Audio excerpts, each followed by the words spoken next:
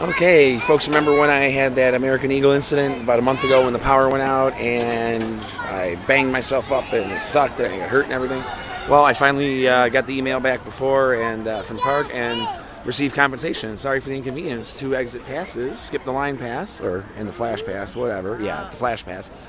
But at the same time, they're not for good for Goliath. I mean, I think what we endured that time, it should have been a lot on Goliath. But hey, either way, that's cool.